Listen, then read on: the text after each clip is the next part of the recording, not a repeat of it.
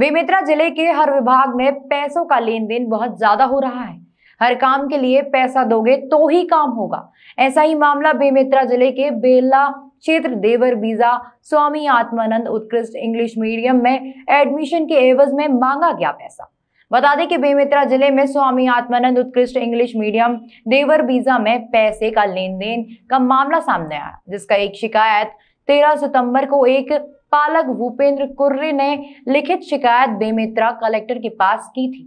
बताया गया कि मेरे बच्चे का एडमिशन के लिए देवर बीजा गया था तो वहाँ एडमिशन के अवज में दस हज़ार की मांग की गई। क्या पूरा मामला बताइए? मैं शिकायत इस नाम से आया हूँ कि एडमिशन के लिए पैसा लेने के लिए मंगे हैं तो देवकर सॉरी देर स्कूल में। कितना पैसा दिए हैं? कौन से विद्यालय के लिए दिया स्कूल का नाम अपना स्वामी आत्मानंद इंग्लिश मीडियम वाला है। वहाँ का क्लास थ्री में एडमिशन किए ना दस हज़ार का डिमांड किए मेरे भर्ती के लिए। कौन क्या था डिमांड तो वहाँ के प्यून है और एक साहू सर है। हम्म। वो लोग भी मेरे को फॉर्म देने से पहले बोले और फॉर्म देने के बाद भी बोले कि दस हज़ार लगेगा एडमिशन के लिए ऐसा। क्या आपने पैसा दिया? पैसा जिस दिन मैं देने गया उस दिन दे रहा था तो लेने के लिए मैं बोला कि रसीद मेरे को दे दो मैं पेमेंट दे रहा हूँ मेरे पास है करके।